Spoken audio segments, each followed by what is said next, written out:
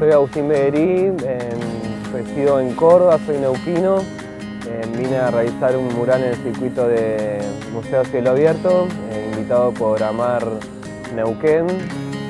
En este caso elegí lo que es el derecho de identidad cultural, haciendo referencia a las mujeres mapuches, reivindicar un poco lo que es los pueblos originarios de acá de, la Patagonia. En este caso son tres mujeres mapuches con un entramado de fondo que hace referencia al paisaje y bueno, conectar un poco lo que hace referencia a lo que son las tierras y los pueblos originarios de acá de Naucan.